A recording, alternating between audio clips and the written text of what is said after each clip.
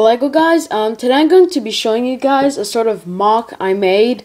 And um, basically I built a Lego minifigure head. So it's a Lego Lego head. So first off um, I sort of like did the neck piece right here.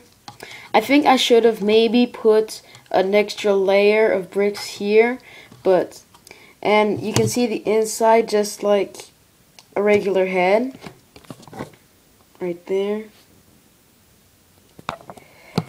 And all around it's just like it's just like a big wall of yellow so.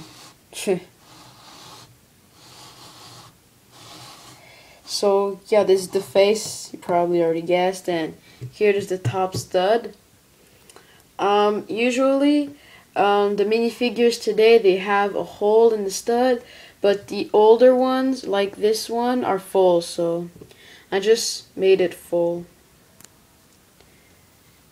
Like that.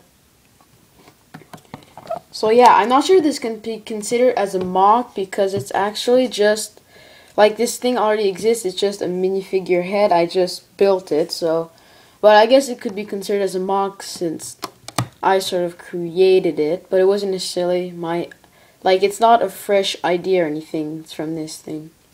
But anyways, so yeah, that's what I built. Uh, I hope it looks good. I mean, uh, I at first I was thinking I could try and make it round, but then I was like, duh, it's impossible.